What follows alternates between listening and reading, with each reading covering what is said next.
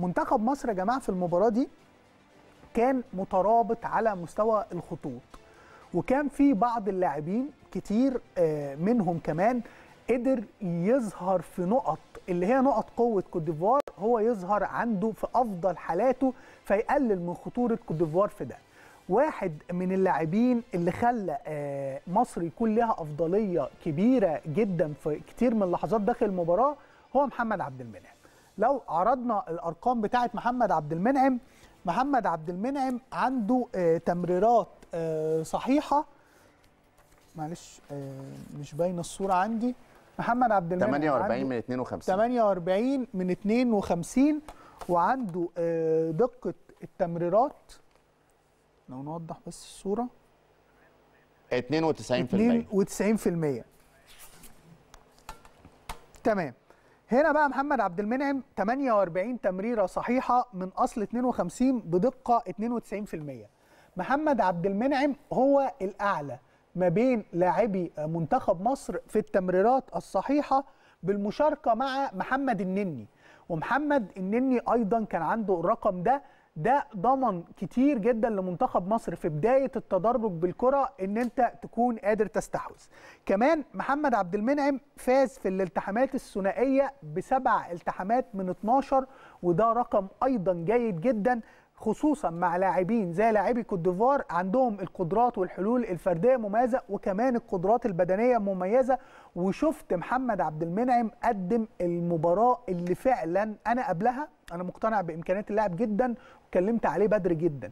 ولكن في الاختبارات التقيلة يا أسامة في حجم مباريات زي كأس الأمم تبدأ تشوف إن ده اختبار. لاعب ما عندوش خبرات دولية كبيرة لاعب كمان ما لعبش آه، في مسابقات زي دوري أبطال أفريقيا مع النادي الأهلي ما كانش خد الفرصة كاملة فلازم لما تحس إنه هيكون في مواجهة زي دي تبدأ تقلق شوية عليه. لا محمد عبد المنعم في تمركزاته كان مميز. كمان محمد عبد المنعم استخلص الكرة 12 مرة وده الرقم الأعلى ما بين كل لاعبي منتخب مصر. وده مهم جدا كمان يبين دور محمد عبد المنعم خصوصا مع قدرات مميزة جدا للاعبي كوت ديفوار. المهم كمان إن في بعض اللاعبين اللي ساعدوا على ده. بمعنى إن أنت عشان تكون دفاعيا زي ما أسامة كان بيتكلم في إن توصل عليك كوت ديفوار بثمان محاولات on target معناها إن كمان كوت ديفوار كانت بتقرب من مرماك كتير جدا. وعلى فكرة استحواذ كوت ديفوار في, الثلث الأخير بتاع منتخب مصر كان في بعض الأوقات عالي نسبيا لأن إحنا خصوصا في في الشوطين الإضافيين كنا جينا بدأنا نقل قوي بدنيا فكنا بدأنا نرجع وبدأ الضغط ما يكونش في أفضل حال. ولكن أحمد فتوح بالنسبة لي لا أحمد فتوح أنا لازم أقف عنده لأن هو بالنسبة لي حاجة استثنائية. أنا كنت متخوف ويمكن كان أسامة بيشاركني التخوف في المباراة فيما يخص أيمن أشرف إن إحنا كنا شايفين إنه مفترض بأدوار دفاعية يكون على جبهة مميزة جدا فيها أوريير وبيبي والجبهة اليمين في كوت ديفوار تكاد تكون هي الأقوى هجوميا في كوت ديفوار بل هي الأقوى فعلا هجوميا بمشاركة اللاعبين وحجم الهجمات ومسار الهجمات في كوت ديفوار. اللي عمله أحمد فتوح إنه تاني أعلى اللاعبين في الملعب استخلاصا للكرة بعد محمد عبد المنعم 11 مرة. وده يدل إن أحمد فتوح كان حاضر تمركزات أحمد فتوح كانت جيدة جدا أفضل بكتير جدا ما كنت أتوقع فحقيقة إشادة كمان عمر كمال قدم إضافة المباراه دي. عمر كمال من اللاعبين اللي ساعدونا في التحولات ال- الدفاعية للهجوم خلال وقت كبير جدا من المباراة. عمر كمال التمريرات الأمامية بتاعته وصلت ل 93% دقتها ودي مفترض اللي بيكون ريسكي باص فيها خطورة.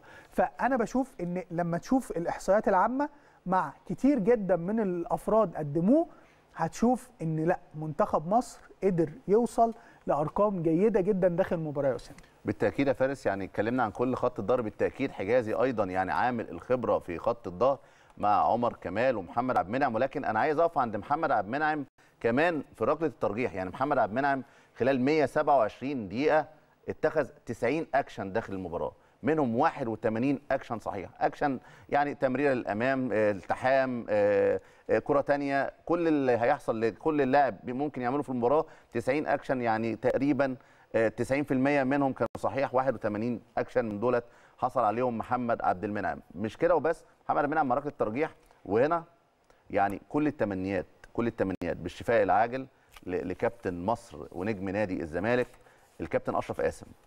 محمد عبد المنعم في ركلة ترجيح آه، 2022 فكرني بكابتن أشرف قاسم 1986 كابتن أشرف قاسم لاعب صغير ولكن كان من بدايته لاعب كبير خاصة الثقة بالنفس. أصعب ركلة من وجهة نظري كانت الركلة الأولى والركلة الأخيرة ده عادة لما بتكون بتحسم ركلات ترجيح. لكن في لقطة بتديك الأريحية بتديك الأفضلية بتقول لك المباراة شبه انتهت. دي رايحة لينا. هي اللي هي اللقطة أو الركلة اللي بعد إضاعة المنافس لركلة ترجيح.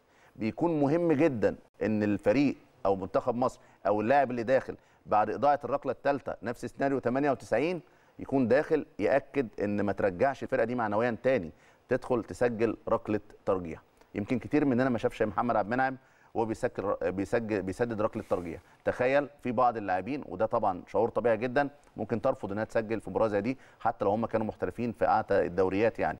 ولكن محمد عبد المنعم قرر إن هو يسدد الركلة الرابعة.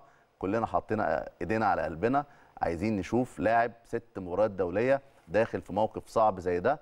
ولكن بيسدد ركلة ترجيح عالمية. طبعا زيزو ما شاء الله عليه محمد صلاح وعمرو. السولية يعني وكلهم وزيزو خلاص يعني بقى الأمور يعني ربنا دايما يديمها نعم عليه مع منتخب مصر وأي ركلة ترجيح مع منتخب مصر يسددها. دخل محمد عبد المنعم إدانا الثقة دي.